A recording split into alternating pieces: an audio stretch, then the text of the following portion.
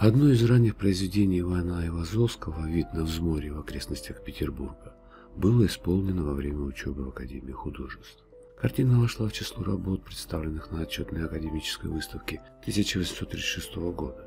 За нее художник был награжден золотой медалью. Это произведение мог видеть Александр Пушкин, посетивший выставку. Воспоминания о первой встрече с великим поэтом Айвазовский пронес через всю свою жизнь. И спустя годы в письме биографу Николаю Кузьмину писал об этом. Пушкин очень меня ласково встретил и спросил меня, где мои картины.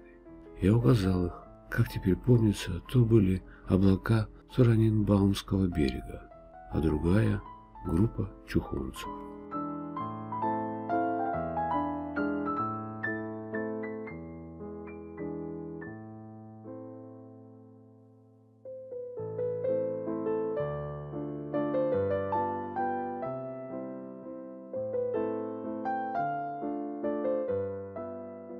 В ранних произведениях Айвазовского, в число которых входит и вид на взморье в окрестностях Петербурга, заметно увлечение молодого художника голландскими и французскими мастерами, работы которых он подробно изучал, посещая Эрмитаж и частные собрания.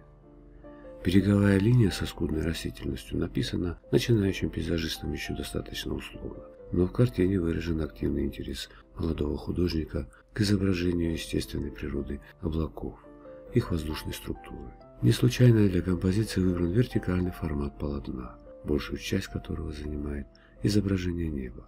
На фоне созданной Айвазовским небесной сферы и дальнего морского пространства фигура сидящего в лодке рыбака выступает в качестве стафажа для усиления контраста между земной и воздушной стихией.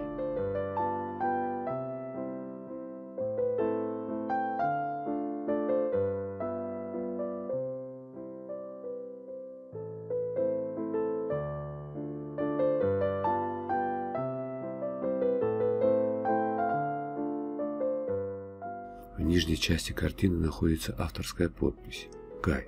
Так художник подписывал свои ранние произведения до 1841 года, когда сменил фамилию Гайвазовский на более привычное для русского произношения Айвазовский.